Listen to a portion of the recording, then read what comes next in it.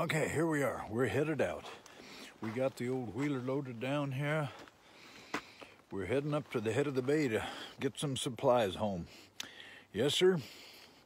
It's a rough trip, but I'm uh, I got my I got my XtraTufs on. I got my Carhartt coveralls. I got my I think it's a Carhartt. Yep, Carhartt coat here.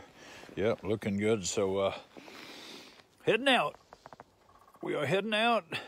Yeah, there we go. Now my face turned red. Hey, okay.